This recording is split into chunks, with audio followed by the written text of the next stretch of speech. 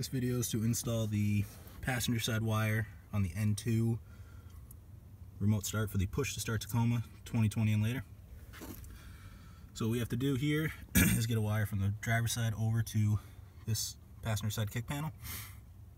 In order to do that, we're going to go underneath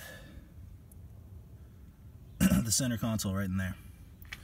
So I found the easiest way to do this is with a electrician's fishing tape. you can also do this with a coat hanger. What you're to do with the coat hanger is bend the end to look like this. So as you're trying to push this through in there, you don't actually accidentally damage anything. So, forgive me, I only have one hand for this.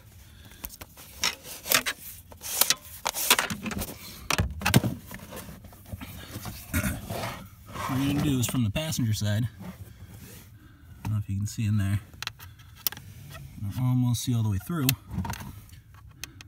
right in there, just shove it on through. And you're to end up hitting some stuff in there, but that's why we did that curved end, just so it didn't damage anything. And if we look over on the driver's side, there we go. That's what we want to pull through.